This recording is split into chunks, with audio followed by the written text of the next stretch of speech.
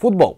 МФК Миколаїв продовжував минулого тижня свою боротьбу за третє місце у першій лізі, яке дає можливість вийти у найсильніший український футбольний дивізіон.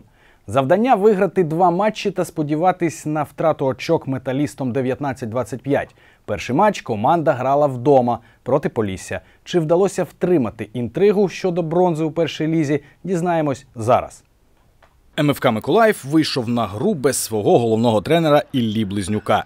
Він відбував дискваліфікацію. Одразу скажемо, що сам матч в господарів не вийшов. Так Миколаїв володів перевагою, створював тиск на ворота Полісся, але підопічні екс-тренера корабелів Сергія Шищенка у більшості епізодів з цим тиском давали собі раду. А іноді, як в епізоді з ударом Богдана Куксенка, гостям щастило.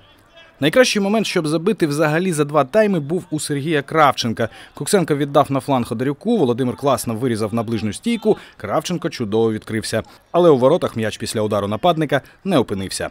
0-0. І після перерви на полі з'являються Войцеховський та Яворський, аби підсилити напад. Проте і в них особливо нічого не виходило. Гра Миколаєва була в цей день така, що невілювати навіси у напрямку своєї штрафної захисникам Житомирського клубу було неважко.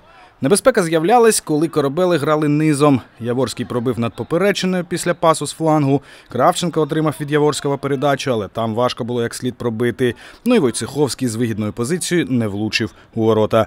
А Полісся команда тиск від МФК не тільки стримала, а й забила в одній зі своїх контратак. Андрущенко на паузі дочекався вбігання у штрафну Павалія, а захисники МФК Миколаїв просто дивились, як той віддає на Островського. Сьомий номер гостей випередив Одарюка і забив єдиний у цій грі м'яч. Все дуже швидко зробило Полісся у цій контратаці, і завдяки єдиному голу перемогло.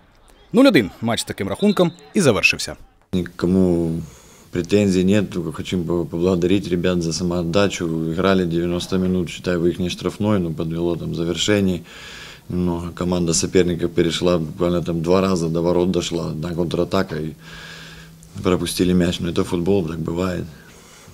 Я считаю, мы доминировали все 95 минут, просто не повезло. А металіст 19-25 свій матч виграв.